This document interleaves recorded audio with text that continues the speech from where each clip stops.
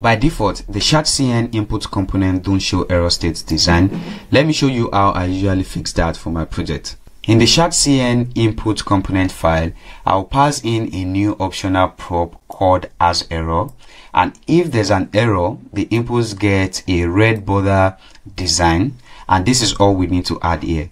And from the consumption end, I'll pass the hasError to the input component and I usually make use of React Hook Form library. So grabbing the error state is simple. And if you have any other means to derive the error state, just pass it in as a boolean to the hasError prop.